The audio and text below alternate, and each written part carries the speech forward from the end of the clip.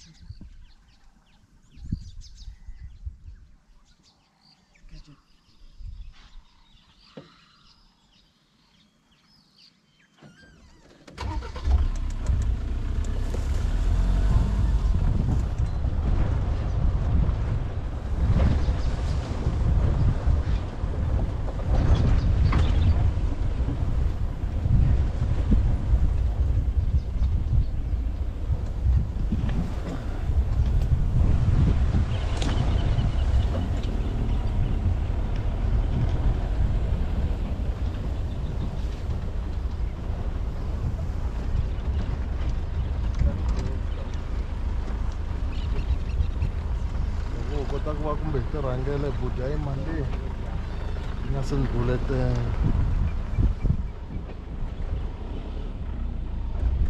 वो ना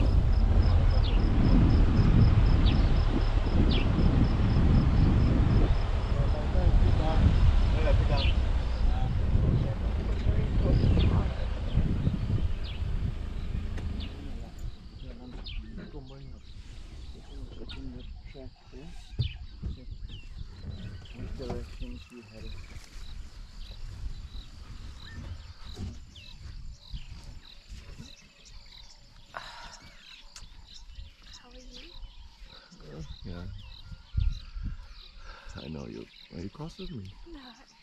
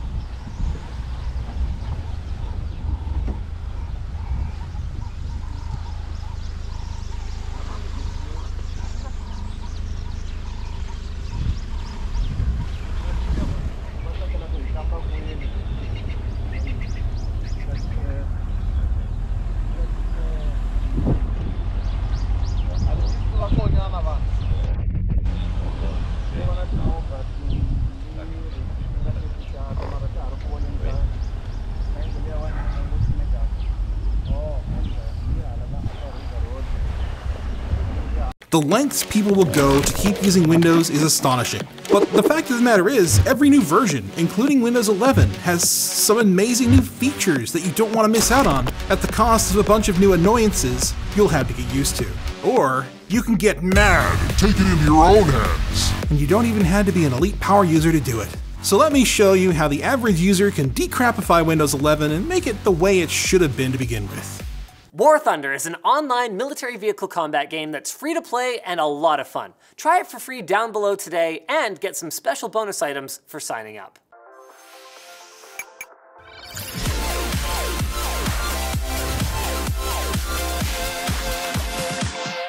The taskbar and start menu are arguably the biggest sources of annoyance in Windows 11, and there's no shortage of fixes for that. By far the most comprehensive available so far is Start All Back, which is currently in its release candidate phase.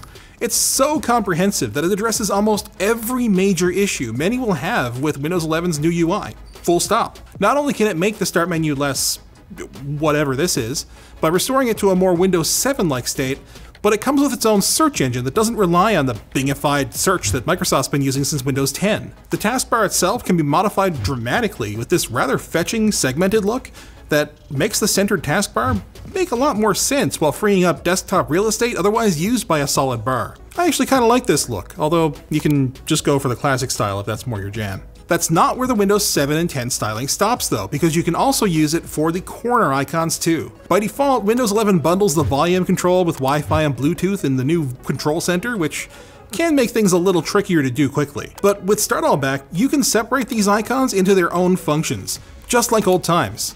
In fact, you can even restore Explorer to the Windows 7 or 10 layout complete with Ribbon UI, and it can make the old right-click menus the default instead of the new simplified ones that hide your third-party extensions. Oh, and um, even weirdos who like to move the taskbar around can put it anywhere they want, albeit with the caveat that flyouts will still come from the bottom right corner of the screen unless you're using the Windows 7 or 10 styles. There's more that Start All Back can do too, but they're not the only game in town. Meet Start 11 by Stardock.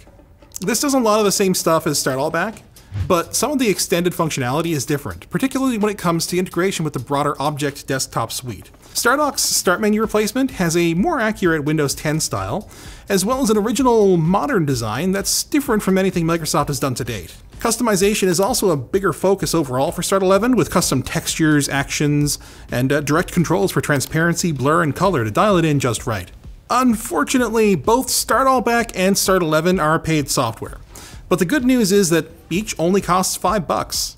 Once.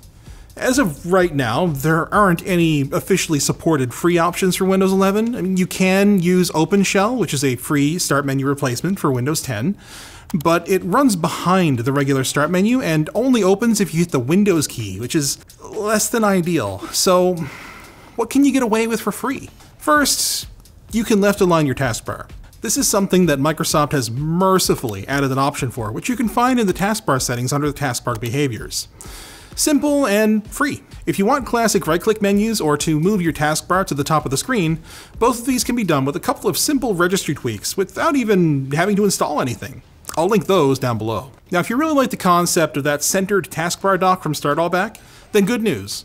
Rounded TB is free and will do the same thing. You'll need to use taskbar settings to choose the alignment, but once you dial it in, it looks pretty snazzy if you ask me. Unlike Start All Back though, the menu itself is still in the middle with this method. It's got baked in support for another app called Translucent TB that allows you to customize the visual style of the bar, but there are performance ramifications for doing this, so it's not recommended by the developers right now. Taskbar X can do some of the same stuff and does a bit more with behavior rather than appearance if you want a more tweaky tool for the taskbar. But um, as cool as all this is, there's still something missing from Windows 11. Live tiles. If you grew to love them since their introduction in Windows 8, then good news! Microsoft removed them in Windows 11. Wait, that, that's not good news at all. No, no, the good news is an intrepid developer decided to create a free program to put live tiles wherever the heck you want on both Windows 10 and 11. Put them in the start menu, put them on the desktop as widgets, it doesn't matter. Your app doesn't even have to have a live tile. It can grab notifications and use those to make it live it's pretty sweet. Or at least it's a start. What if you also happen to hate the new rounded windows? Well, that's a little trickier. Win11 Disable or Restore Rounded Corners is a creatively named app that does exactly what it says on the tin, by modifying the Desktop Window Manager DLL to remove the rounded corner bits entirely. That's a potential security risk since it requires the permissions of the file to be modified, plus you'll need to reapply the patch if the file ever gets an update from Microsoft. But if you do break something, there's always System Restore, and the upside is you need only run the app and reboot to once again gaze upon the glory of 90 degree corners, just like God intended. Speaking of intentions, I'm not sure you can give Microsoft much benefit of the doubt on making it way more difficult to change your default browser than it was on Windows 10. Thankfully, Mozilla reverse engineered Edge's one click switch method for Firefox. Uh, for those of you with a more Google centric browser, you'll still have to painstakingly make the changes yourself, but you'll notice that even if you get a different web browser set as the default, no matter what method you use, Microsoft Edge will still launch from time to time when clicking on links or accessing Windows Help. Enter Edge Deflector a simple little app that registers itself to handle a special hidden Microsoft Edge link type, passing it on to your default browser. After the first time setting it as a default, you'll never see Edge again hopefully. And now for the bonus round. All the stuff that I think is useful that's not Windows 11 specific. Starting with Alt Drag. If you've used Linux, you'll know that this title refers to the ability to hold a keyboard key down and then click anywhere in a window to drag it around. Something that can help with productivity and is particularly useful for touchscreens. It's a little old now and doesn't directly support Aero Snap, but it's got its own snap feature built in that kind of mimics it. Another app called Sizer can help with that though. It allows you to position and size windows quickly and accurately. It's a fair bit faster than dragging the window around manually, even to use with Snap. Twinkle Tray is an app that people with notebooks and Surface devices might appreciate. It lets you change the brightness of even external displays, and while it doesn't smoothly step through the brightness levels like modern laptops, What's really cool is you can set minimum and maximum values for each monitor to normalize them, so you can control all the displays at once whenever you change the brightness. Combine this with scheduled brightness changes and another app called Auto Dark Mode, and you've got a pretty great setup IMO, complete with time-based desktop wallpaper switching. Twinkle Tray hooks into the on-screen display control via DDCCI, which is supported by most displays since the late 2000s and is a whole rabbit hole all on its own. Finally, I would be remiss to talk about decrapifying Windows if I didn't talk about Power Toys. These are small apps developed by Microsoft for the purpose of extending Windows for power users, and some, like virtual desktops, have even graduated to flagship features today.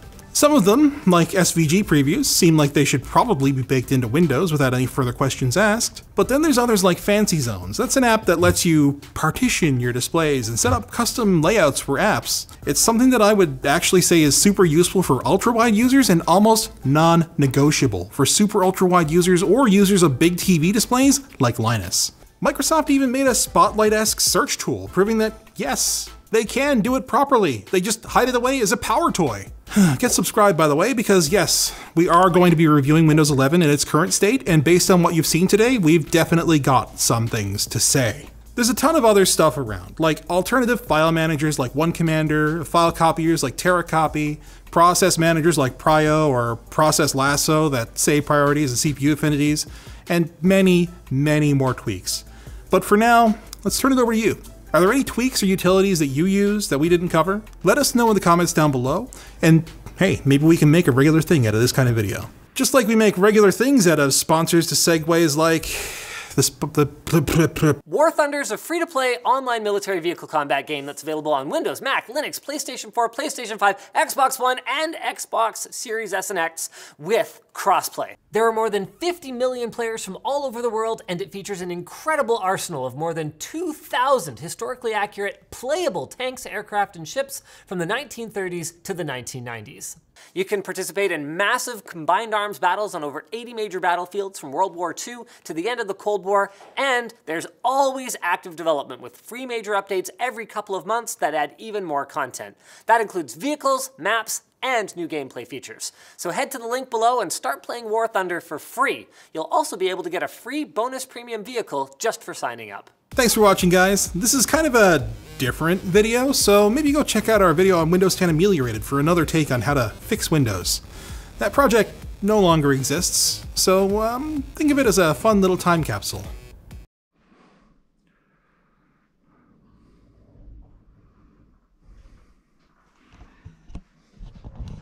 Ready?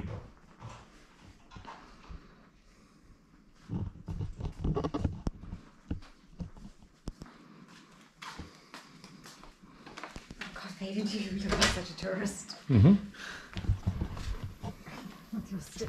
Mm-hmm. Oh my god. Need to show up, my love. Oh, one of the short ones here. After you. Oh, Fagan.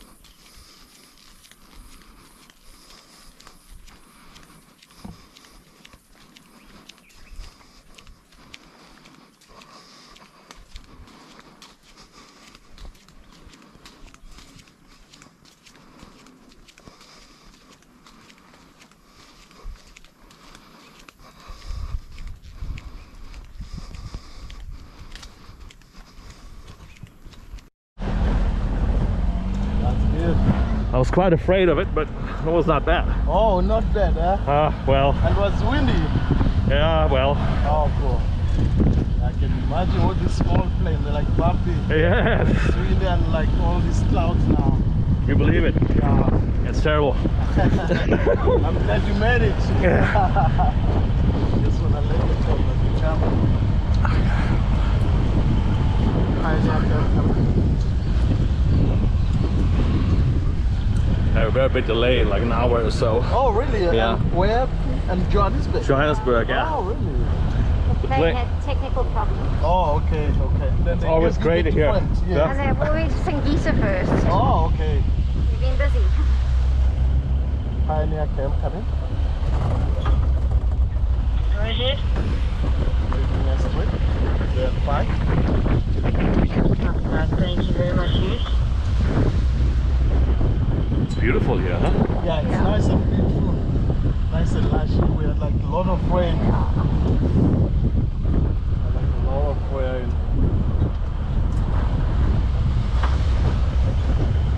It's very nice for the animals. Yeah. It's very cool. And when last you were here? When was I that? was here in 2013 and Oh, 2015. Long time ago. Oh, oh, 13 and 15. Yeah. Oh, okay. It's my first Oh, time. that's not bad. Oh, this is your Yeah, first time. mine's oh, first, cool. That's yeah. nice.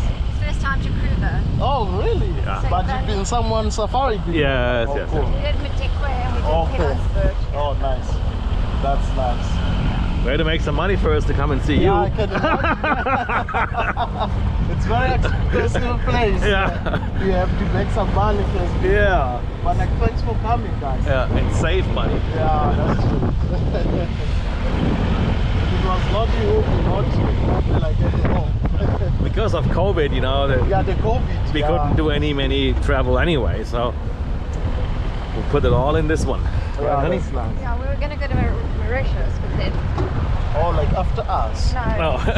then Instead. Oh, okay, yes. And then we thought we'd rather just go local. Yes, yes. Uh, yeah, with COVID, uh, like things can change and things like now it's difficult even to Yeah. travel from one country to another. Very much so, yeah. That's Very nice. I'm glad you made it. I miss those roads, don't you? These roads, just driving. that was the last time we were in 2019. 2015. Ah, yeah. 15, But I was yeah. in No, no, we did the last one, was it in 19? 18 or 19 we did it, I think Pilanesberg or Oh, Madikwe. Plastic, yes, yes. Okay, cool. Uh, and I did Okavango about four years ago. Oh, four years ago, yeah. Oh, all right. I mean, I've never been that side of the north. I just said it's like beautiful. That's really, really beautiful. Beautiful, yeah. So right on top of my bucket list. So we got like now we're gonna meet Shannon, Yeah. he's the camp manager, and probably maybe late we might meet Melvin. Melvin will be our guide Okay. and the elephant today, and I'll be the tracker. Oh, okay. So Oh, was great. busy with something, so he didn't make it. So that's the elephant over there. oh, You nice. can see him there. Yeah, uh, You can see he's been like in the water. it's nice and Dark, wet. Yeah. Oh, the plane is see taking him off. Like when we get out again around Yeah. four.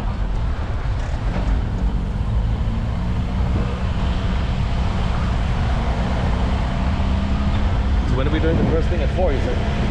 Yeah, four o'clock. Yeah. Yes. And four o'clock we'll meet then we'll go out from there. So, but Shannon, she will take you through. She will tell you Yeah. like all the morning time, afternoon time, everything. Maybe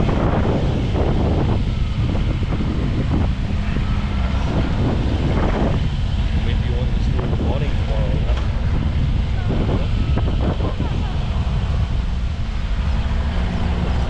Saying. You don't feel for at the moment. I do want to. Ah. All right. I just have to see the bathroom. Yeah, I mean, it's Those totally planes have no bathrooms, It's- right? Sorry? These little planes that you cannot go to Oh the no, bathroom. no, no, yes, yes. Yeah, There's so no we're like bathrooms. Oh, all, I can yeah, imagine. They're all like ready to go. yeah.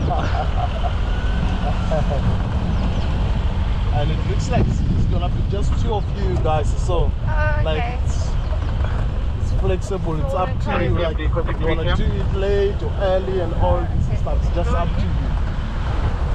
Yeah, definitely like Good this afternoon and tomorrow morning and see the hippos. Yeah. Nice, yeah. See one lying there Yeah. just enjoying this sun. Gosh, he must be cooking. basking there. It's Yeah. cooking. It feels like it's cooking for us, but my fun for him is just like nice. He's enjoying it. He's lying on the side. He lies, lies lying on one of the Yeah, dogs. it's like I'll, I'll, I'll stop more. more and Yep, that's the bird. like, oh, see there, just laying there. Oh. Oh, it's huge. See, okay, stretching his ear. Yeah. That's nice. Oh. Okay, I really got to see the bathroom, my friend. Yeah, let's Sorry. do it. Let's do it. We'll continue at four. Yeah, we're just like 20 seconds. yeah. I will try you not to keep you for a long time. yeah. There is no bathroom on this small plane.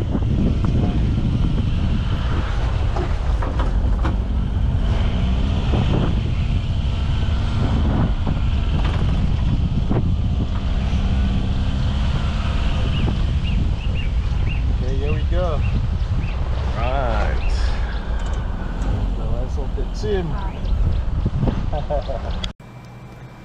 Hi everybody, this is Austin with Austin's Nerdy Things, and today we will be installing macOS 12 Monterey on Proxmox 7 uh, as a virtual machine.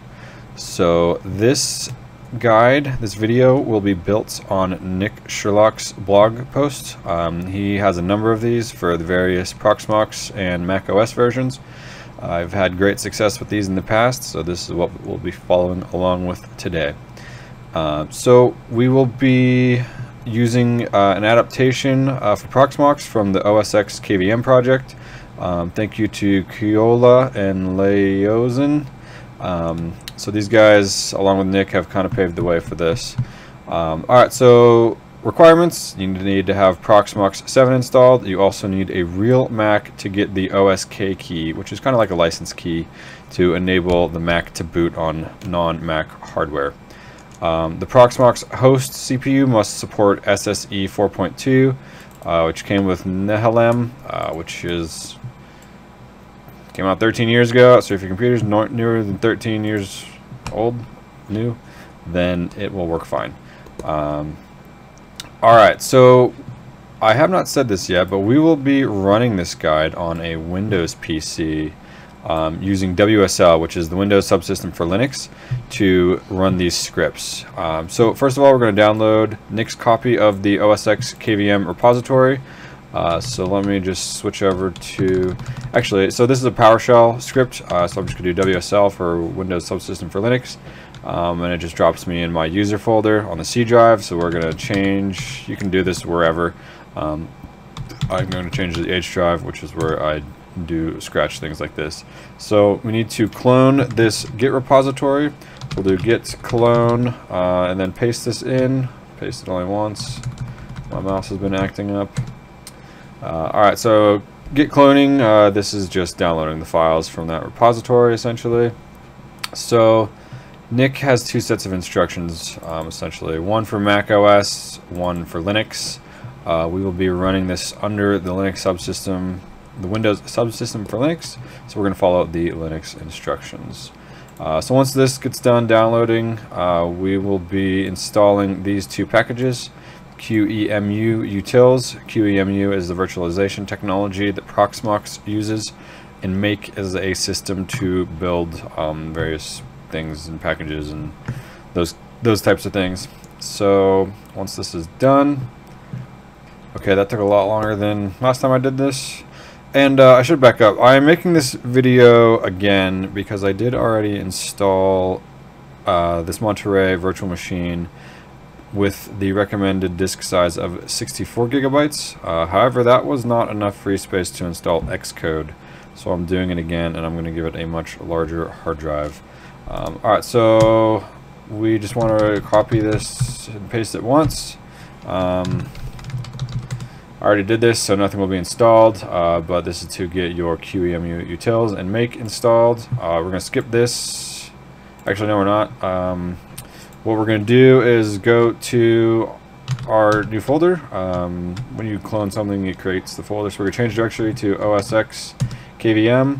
Uh, and then we're going to further change directory to scripts slash Monterey um, as indicated here. And now we are going to make the Monterey recovery image. And so this uh, also downloads quite a bit. Um, let's see, this will be 608 megabytes. So we'll check back in in a couple seconds. Okay, so that is done as well. Uh, what that just did is it downloaded the Monterey recovery installer from Apple uh, and built the .img file. Uh, this img is what Proxmox will understand. Proxmox does not understand the .dmg, uh, which is what um, Apple stuff speaks. So we will be uploading this to Proxmox ISO store. Um, an easy way to do that is just click on local um, and then ISO images and then upload. We just made uh, this recovery image um, and it lives in scripts slash Monterey. So we're to double click that and upload it.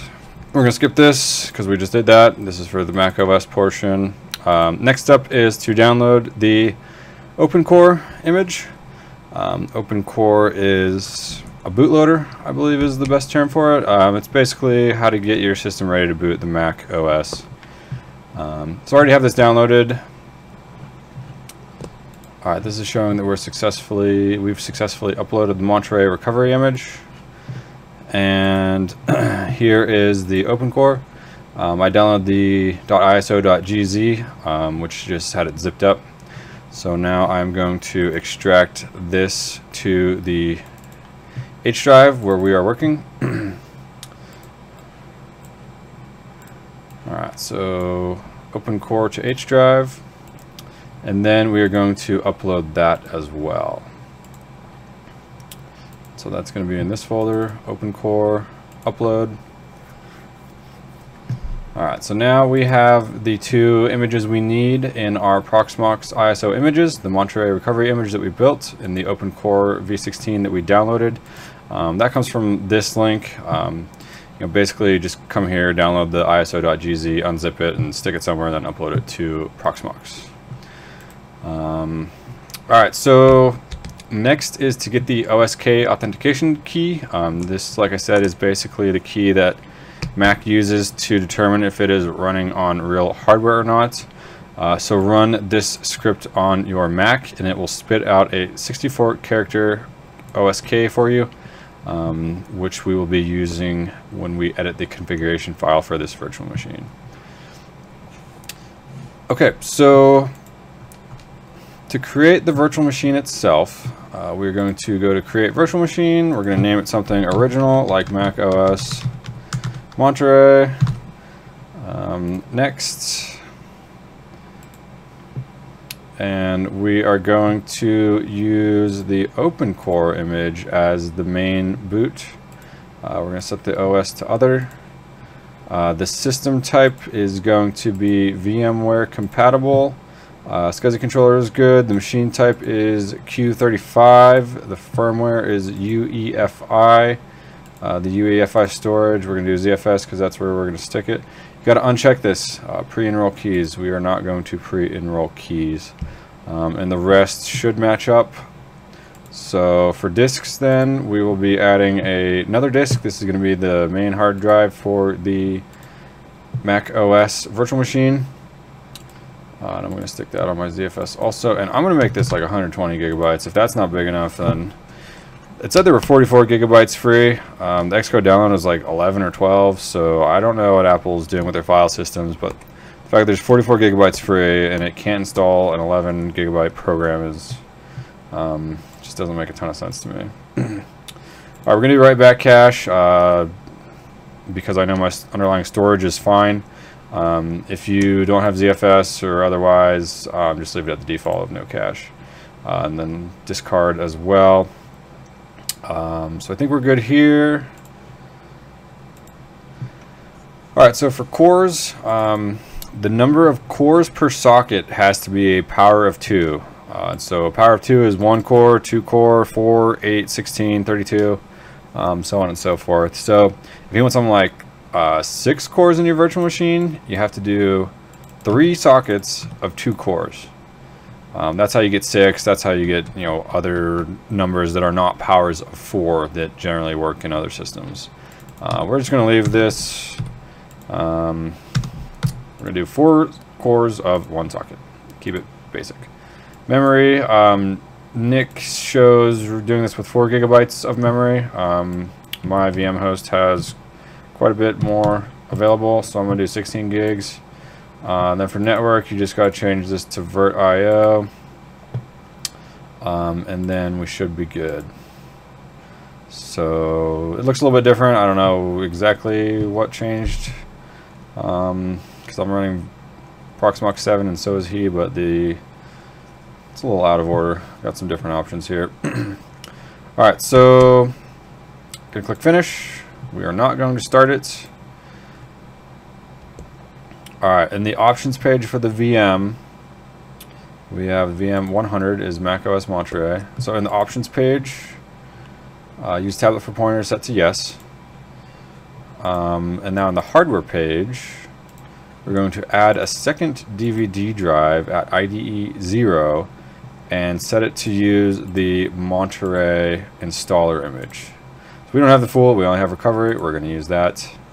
Um, Alright, so don't start the VM yet. So now we need to SSH into the Proxmox server and we need to change um, the configuration file a little bit.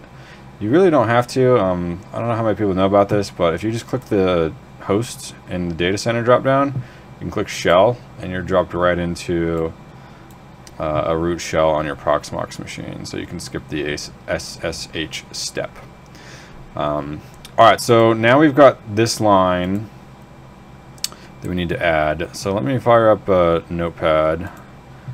Alright, so here's notepad. Uh, so we're going to add this line and we're going to add some other arguments to it. Alright, so we'll paste this. Um, this is a single line. It looks like it's multiple, but it's actually a single line. And note here, this is this is the OSK stuff. Uh, so this is where you would put, this is where you put the 64 character OSK from your Mac. Um, and I'm not going to be typing it out here. I will not show it in this video. Um, you need to get it from your Mac and place it in here. Um, okay, so we've got the first half of this argument done. Uh, and then we need to add more to it. Um, if your CPU, host CPU is Intel, add this to the end.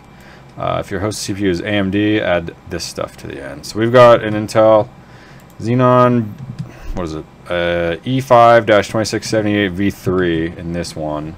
Uh, so basically this is, you know, when we selected the CPU type to be Penryn, we did not do that yet. I skipped over that. Um, Alright, VM 100 hardware processor type needs to be Penryn. Okay. Um, so we're gonna we're we're telling the Mac VM that we have a Penryn CPU. Um, that's officially what it it's going to be running on. However, with all this other stuff, we are going to expose here specifically CPU-host um, plus all this other stuff is we're going to expose all of the other features that the CPU has to the Mac VM. Um, even though the Mac VM is going to think it's a Penryn CPU, which is like super old. It's like 12 years old at this point. Um, so this will pass through all the features that your CPU supports. OpenCore's config will pretend to Mac OS that the CPU's model name is Penryn for compatibility. Um, okay, so now we're going to copy this single line and then we're going to nano slash etc pve slash whatever else it's set up here. I think it's QEMU server slash 100 is our virtual machine ID. Uh, we're just going to page down a couple times to get to the bottom, right click to paste. And so here we have our args line. Uh, it's really long, but this is all the stuff to basically fake the underlying hardware. You will need to change this, the OSK, to what your Mac has spit out. Um, I will be pausing um, later to do that uh, because we still have to edit two other things. Okay, so now find the lines that define the two ISOs. Um, and so these would be these two, um, IDE 0 and IDE 2. Uh, and so we're going to be changing this media equals CD-ROM to say cache equals unsafe, uh, which is effectively telling it um, that these are actually hard drives instead of CD-ROMs or DVDs or whatever. Uh, so this enables writes to these IDE devices. So your final VM configuration file should resemble this. Uh, and it does. We've got Monterey recovery on IDE 0. We've got OpenCore on IDE 2. We've got caches unsafe for both. Um, we've got our Penryn CPU here. Uh, four cores. The rest looks good. So I'm going to hit Control O, Enter to save, Control X to exit. Um, and now we have to uh, enable this. Um, so basically we're going to set um, KVM ignore MSRS. I don't know what this does. Um, I did at one point to the KVM kernel module. Um, and then we're going to update our bootloaders to persist across reboots. Alright, so this is going to run. Uh, it takes a couple minutes. I am going to also change out the OSK in the config file, and then we will get to installing Monterey. Okay, so we have updated the uh, bootloaders and the kernels. Um, these will always use this option now. Uh, and I have also changed the OSK, uh, the license in the .conf file. So we should be good to go to install Monterey. So I'm going to close this out. I'm going to right click on our Mac VM, go to start, switch over to console. Alright, and so we did build a recovery installer. So the icon will be a hard disk and will be labeled Mac OS base system. Um, Alright, so kind of annoying, but uh, it resizes by default, um, so I'm just going to live with it like this. So here is the OpenCore boot menu. Um, you can use the arrow keys left and right to go left and right, but we want to do Mac OS based system. You cannot use your mouse on that screen. Okay, so next up we will uh, fire up disk utility and erase the virt.io block media disk and name it main. Okay, so we've got the initial boot going. Uh, we're going to go to disk utility, continue. Alright, and here's our virt.io block media. Uh, shows it 128 gigabytes, uh, even though I said 120, that's the difference between gigabytes and gigi, gigabeats, something like that. I forget, GIB versus GB. Alright, we're going to name it main. Uh, we're going to erase it. Alright, it's done. Click done. We're going to exit disk utility by going up here, disk utility, and then quit disk utility. Uh, and now, um, it says reinstall, but really we're doing the initial install of macOS Monterey. Continue. Continue. Oh, little baby's waking up from her afternoon nap. Alright, so I'm going to see if I can get this uh, going. Um, it downloads the install media, the full OS from Apple, which takes a while. Uh, so it's throttled on the Apple side. Uh, it doesn't matter how fast your internet is. Um, it takes a while for this to go. So let's get this going and uh, and see how long it actually takes to install. Alright, we've got some license stuff here. We're going to install to main. Alright, so 2 hours 17 minutes remaining, that's the default value. Um, this will drop down to like 50 minutes the first time it updates, and it'll take 20 or 30 minutes um, to actually download the install media. So we will be checking back in in 20 or 30 minutes. Um, I'm not going to say the hard part's over yet, but the hard part's basically over. Um, you know, we got the virtual machine created and configured. Now we're installing the Mac operating system. And uh, from here, should be pretty smooth sailing. Just have to wait and reboot a couple different times. So if you like this so far, go ahead and click like and subscribe um, to see more videos like this. And we will check back in with you guys, uh, hopefully sooner than an hour and eight minutes. Um, but don't be scared if my clock jumps a couple hours ahead. I'm dealing with uh, or hanging out with the baby, not dealing with the baby. I get to hang out with her. I don't have to hang out with her. So, okay, we'll catch you guys when we catch you guys. Okay, we are back after a clock jump and a nice visit to the park on a 50 degree sunny day. Um, so what has happened is the first stage of installation has completed and the VM will need to reboot two or three more times in quick succession and each time we must manually pick the Mac OS installer entry. So clicking over here to our virtual machine, again the mouse does not work. You can see this is the Mac one here, but the arrow keys on your keyboard do. So we're going to go to Mac OS installer, hit enter, and uh, let it let it do its thing again. Um, basically, anytime that pops up, um, you just need to hit it. So I think I had three reboots the first time I installed this. Uh, this is the second one now. Um, I'm not sure why it says two or three times in quick succession. Uh, 29 minutes is not quick. Um, if I recall correctly, I think it took like 10 or 15 minutes the first time I did this. So, we will be back after another clock jump. Alright, another time jump and another reboot. Let's see. Here's my mouse, Mac OS installer. Uh, this should be the last time, I believe. Fingers crossed. Alright, I'm going to stop recording again, and we'll be back after the next time jump. Okay, so that was what appears to be the last time jump. Um, I think we're done installing, so we do have a main over here on the right. Um, so let me auto scale this and uh, let's see, what is it, local scaling, turn auto resize off. Yep, there we go. Okay, so let's boot up to main and see what happens. If uh, your boot freezes about right here in the progress bar, it's because your OSK is wrong. Ask me how I know. So we skipped over that, got the right OSK in there, the license key. Um, it's proceeding as expected for a normal Mac OS boot. Uh, the first boot does take a lot longer than any subsequent boots. Um, in Nick's blog post, he talks about how um, it's performing housekeeping tasks. So, alright, looks like it rebooted itself one more time. Let's try main again, see what happens.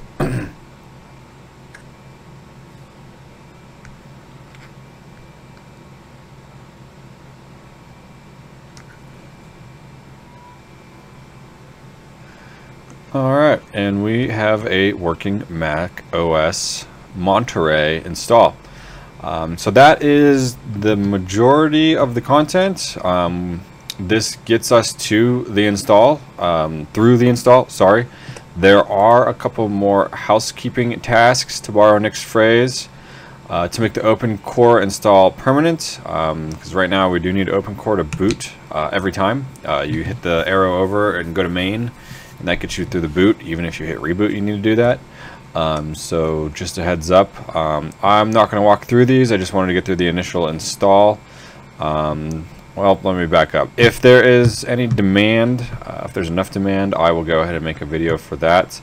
Um, sleep management, this sleep worked fine for me. Um, I did not have any issues with waking Monterey up from sleep.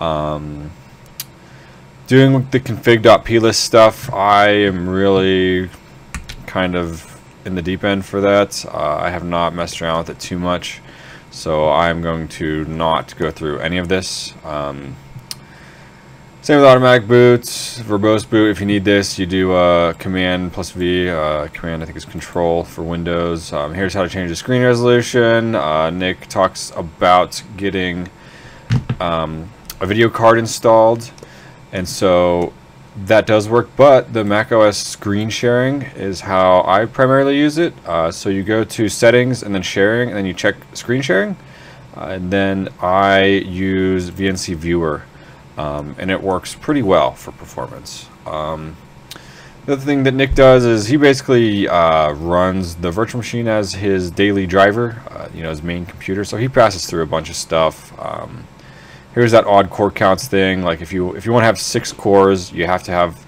three sockets of two cores each, uh, which says it right here. Um, fixing guest boots to UEFI shell, we did not have this problem.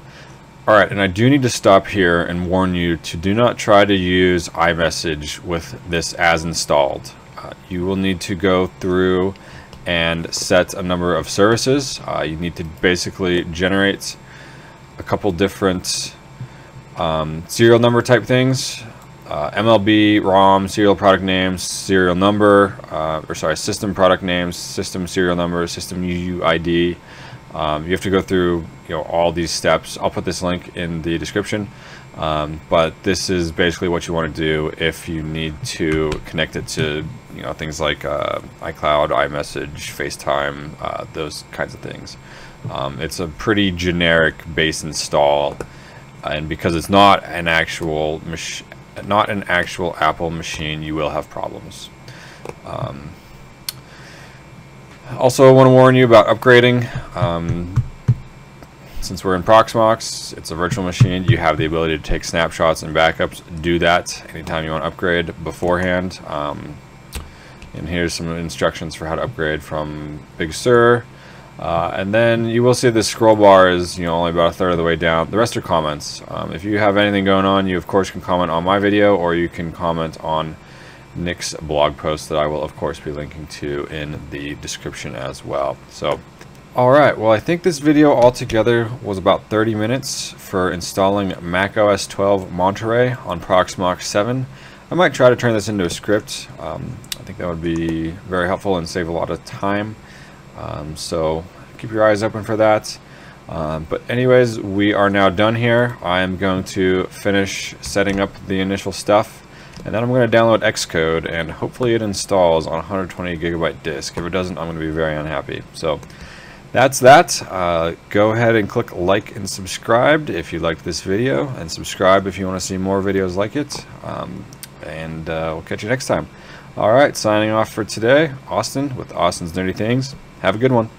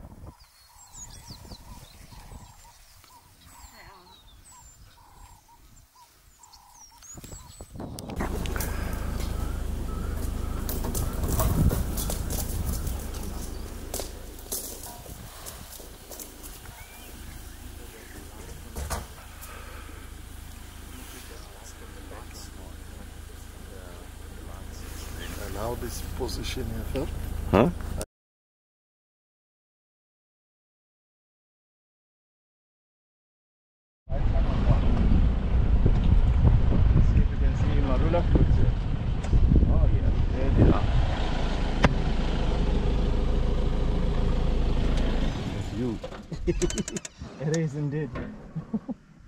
That's a big pile. You see, they're not digested. Mm. Yeah, Just go straight through. straight through. So what he did, put in the mouth and and chew that, bite it, took the juice out of it, Right, and, and then that's the it. whole thing comes yeah comes in and out so by doing that uh, then that seed can germinate then Hmm. they help just to plant more trees Hmm. which is the good thing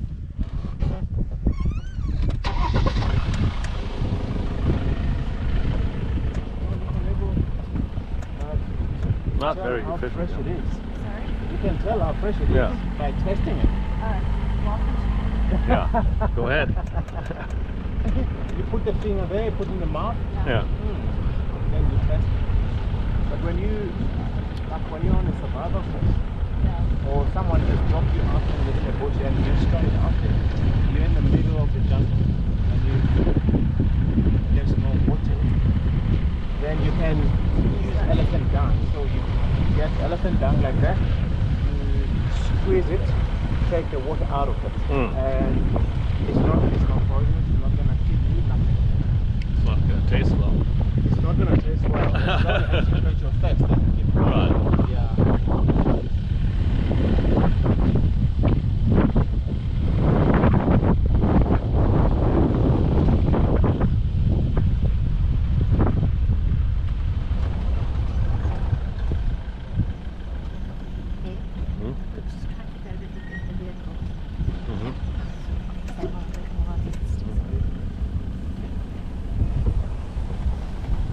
A lot of world police, that's for sure.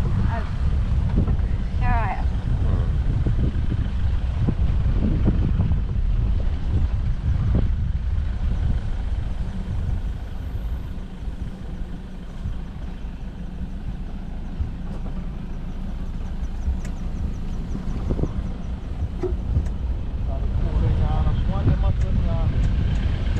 Okay. Ini sana cukup manis tadi.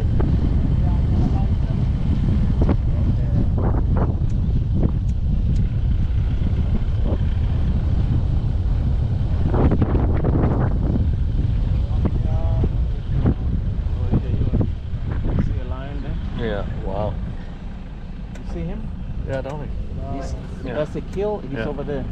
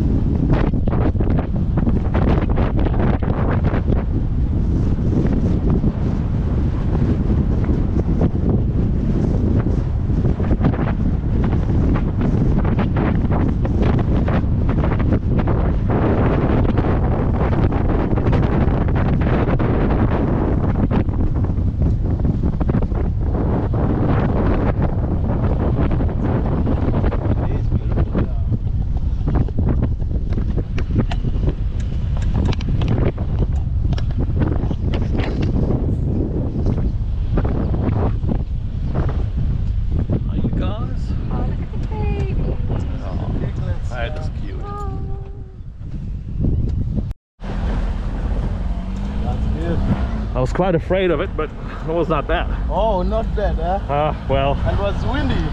yeah, well, Oh, cool. I can imagine all these small planes, they're like bumpy. yeah, It's windy and like all these clouds now. you believe it. Yeah. It's terrible. I'm glad you made it. Just wanna let you talk about the travel.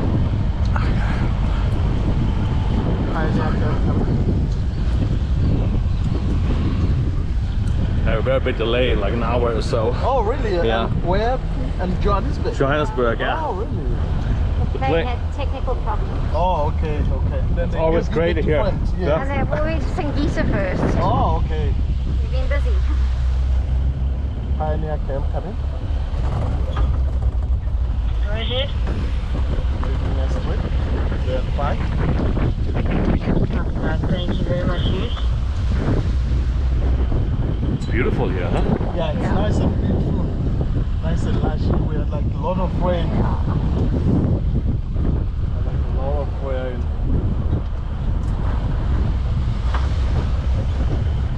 It's very nice for the animals. Yeah. It's very cool. And when last you were here? When was I that? was here in 2013 and Oh, 2015. Long time ago. Oh, oh, 13 and 15. Yeah. Oh, okay. It's my first Oh, time. that's not bad. Oh, this is your Yeah, first time. mine's oh, first, cool, that's yeah. nice. First time to Kruger. Oh, really? Yeah. So But then- you've been someone safari group? Yes, oh, yes, cool. We did Madikwe and we did oh, Okay. Pilanesberg. Oh, nice. That's nice. Way to make some money first to come and see you. Yeah, I can imagine. it's very expensive place. Yeah. You have to make some money first. Yeah. But like, thanks for coming, guys. Yeah, and save money. Yeah, that's true. it was not you, not you. Like at. Because of COVID, you know, the, yeah, the COVID. We yeah. couldn't do any many travel anyway, so we'll put it all in this one. Yeah, Right, honey? nice. Yeah, we were going to go to Mauritius, but then Oh, like after us. no. No. then they Instead. Oh, okay, And yes. then we thought we would rather just go. Yes, yes. Uh, yeah, with COVID, uh, like things can change and things like now it's difficult even to Yeah. travel from one country to another. Very much so, yeah. That's Very nice. I'm glad you made it. I miss those roads, don't you? These roads, just driving. That was the last time we were in 2019. 2015. Ah, yeah. 15, But I was yeah. No, no, we did the last one, was it in 19? was- uh, yeah. 18 or 19 we did it, I think Pilanesberg or Oh, Madikwe. Plastic, yes, yes. Okay, cool. Uh, and I did Okavango about four years ago. Oh, four years ago, yeah. Oh, all right. I mean, I've never been that side of the north. I just said it's like beautiful. That's uh-huh. really, really beautiful. Yeah. So right on top of my bucket list. So we got like now we're gonna meet Shannon, Yeah. he's the camp manager, and probably maybe late we might meet Melvin. Melvin will be our guide Okay. and the elephant today, and I'll be the tracker. Oh, okay. So he Oh, was great. busy with something, so he didn't make it. So that's the elephant over there. oh, nice. You can see him there. Yeah, uh, You can see he's been like in the water. it's nice and Dark, wet. yeah. Oh, the might plane is see taking off. like when we get out again our Yeah. airport.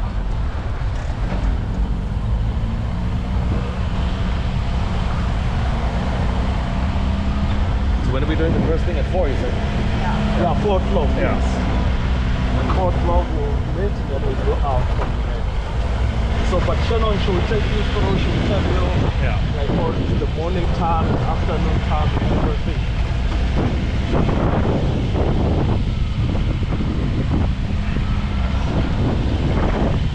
Maybe you want to just do it in the morning tomorrow.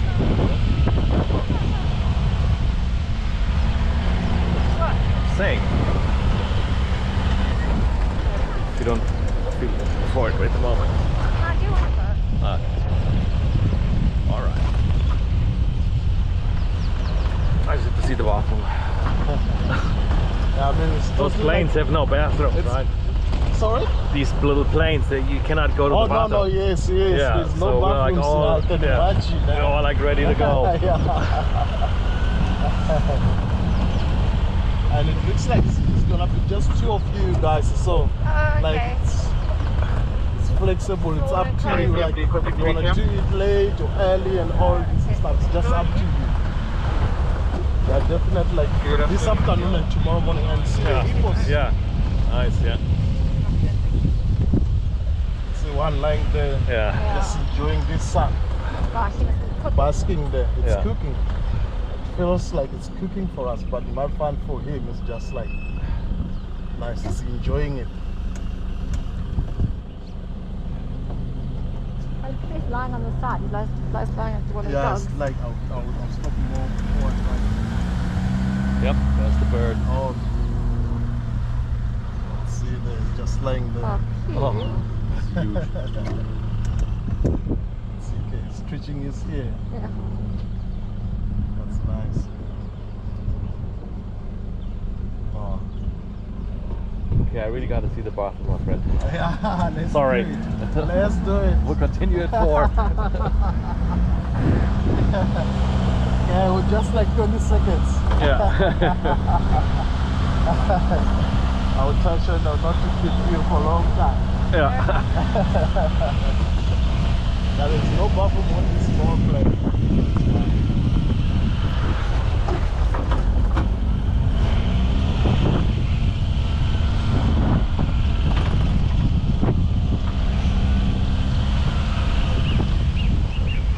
Okay, here we go. Right. The rest of the team.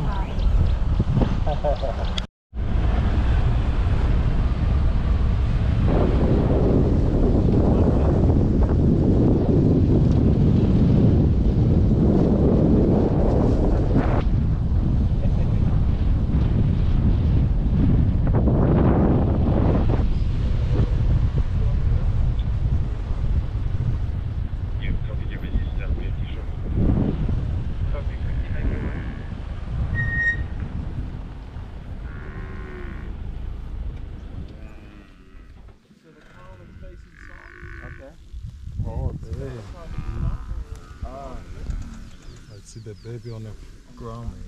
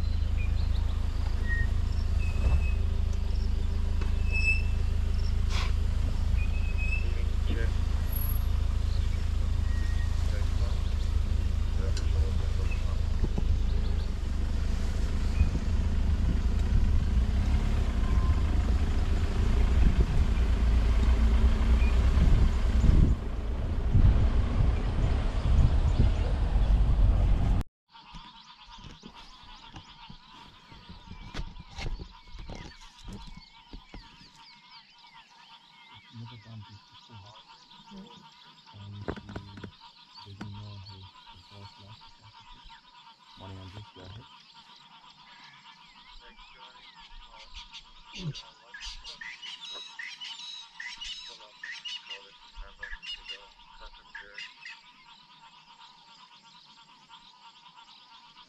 seeing from it's, it's a single card number.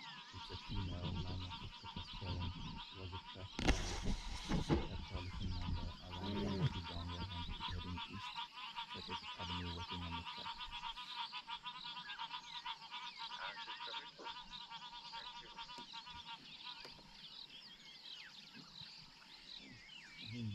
Доступно. Oh, I said that you. No.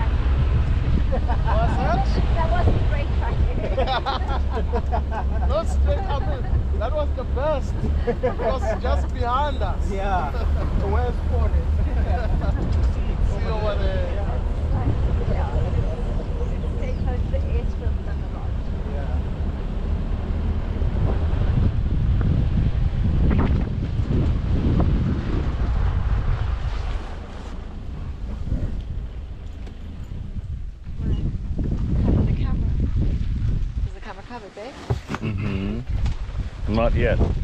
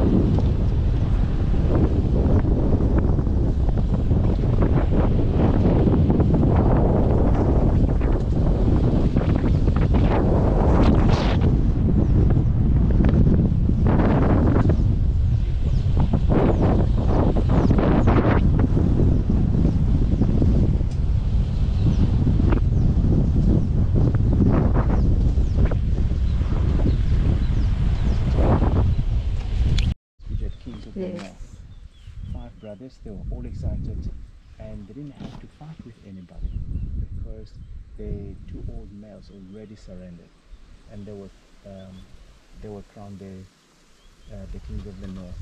And after that, and these guys they wanted to kill the children that were fathered yeah, by the males, and the females were trying to protect them, and I these boys started killing the females. They're known of killing the girls because the girls were standing on their land. And then they, that's when they took over and they started enlarging their territory further south. One of their brother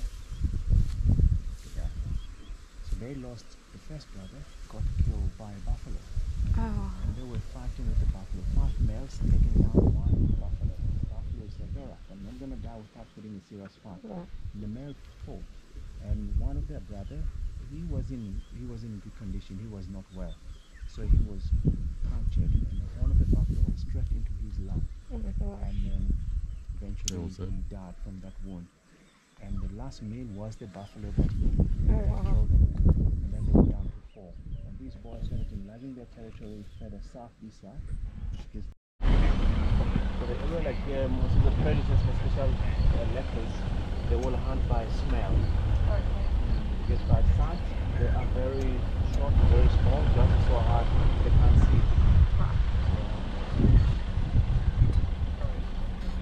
So, Elephant.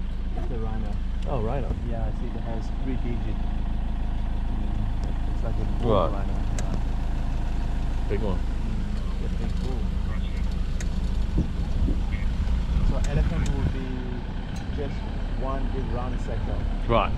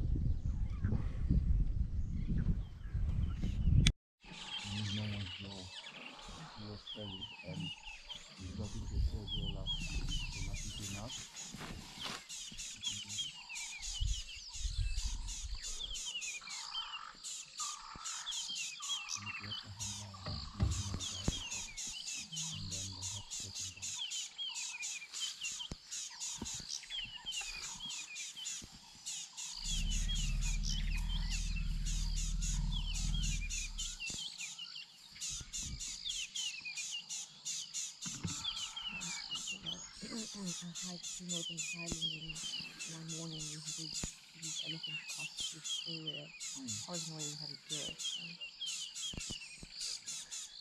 Um,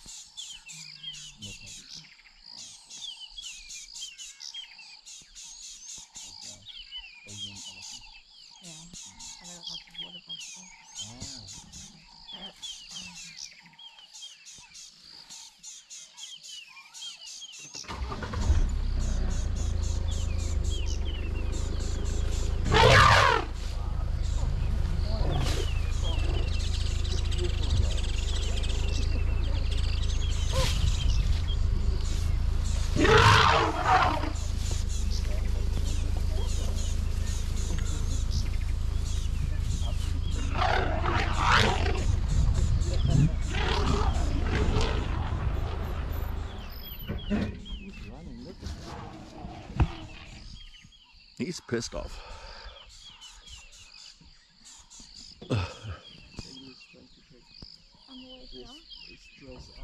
It's way back there.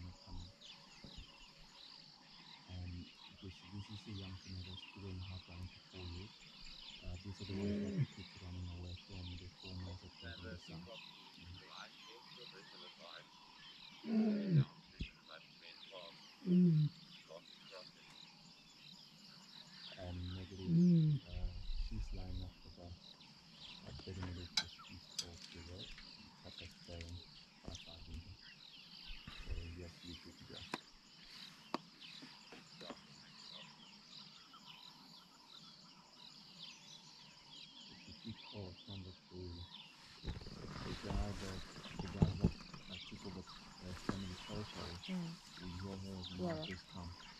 So that could be another reason why she's not. Um, she might fall not helping. I got everything. Oh, you got everything? yes. Okay. You'll be famous. Very famous. Yes. Yeah, gotcha. You got you, I'm going to go to the. I'm going to go to the.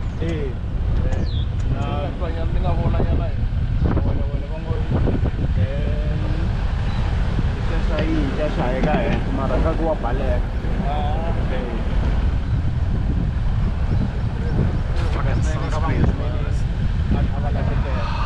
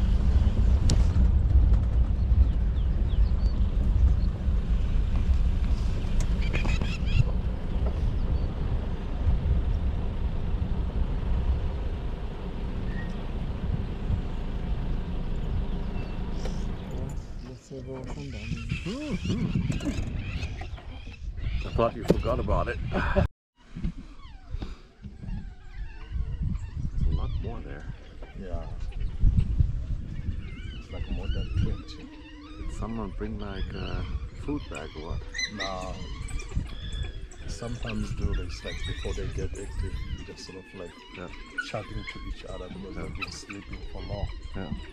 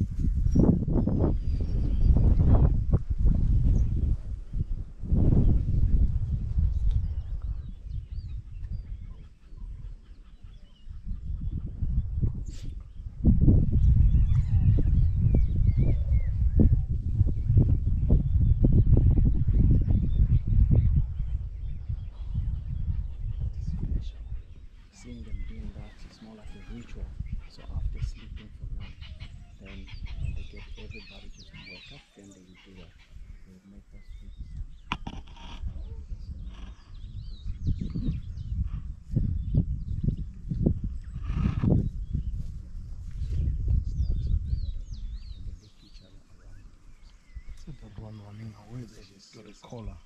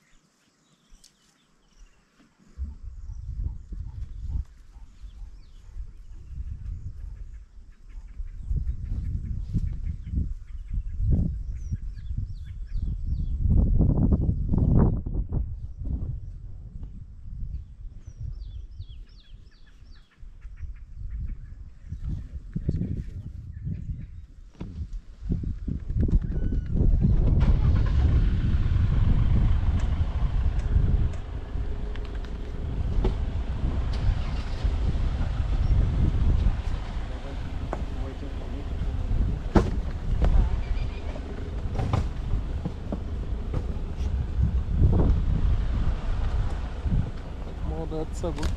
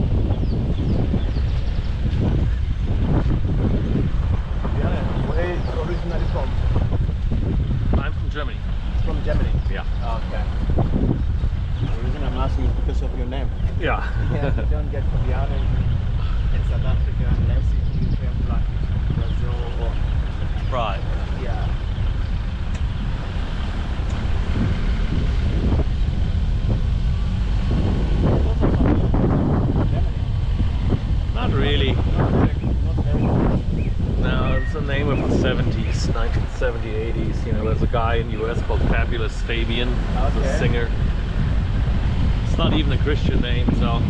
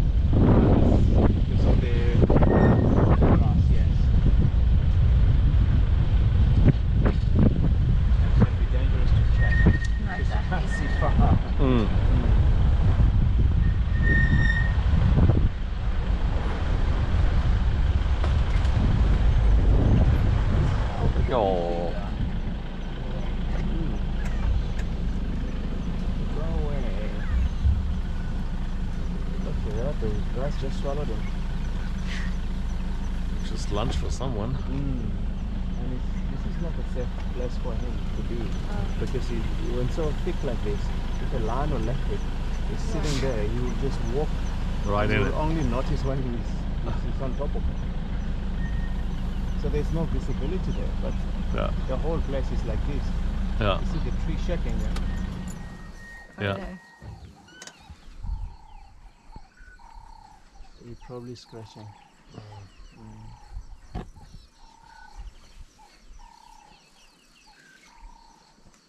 have to be very bold to do that. I mean, to walk through the thick, thick grass like this.